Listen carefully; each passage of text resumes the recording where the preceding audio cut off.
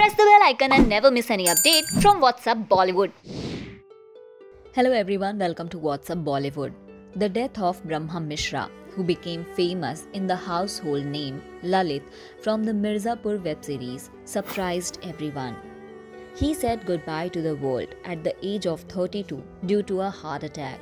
But the most surprising thing was that for three days his body was lying in the bathroom floor in his house.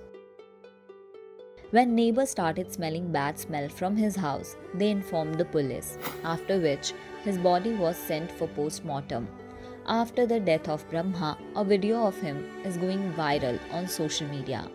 In this video, he is seen dancing with his friend. This was his last Instagram video.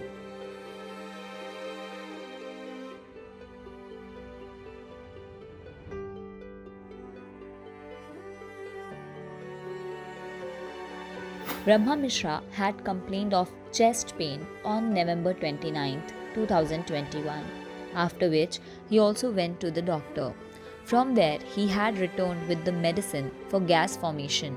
But that being said, he said goodbye to the world on the same day.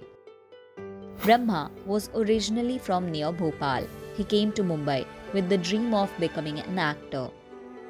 Apart from Mirzapur, Brahma was also seen acting in the movies like Kesari, Haseen Dilruba, Manjhi, Badrinath Ki Dulhania, and many more. Divyendu, who played the role of Munna Bhaiya in the series, took to Instagram to mourn Brahma's demise. He posted, RIP Brahma Mishra, our Lalit is no more. Let's pray for him, everyone.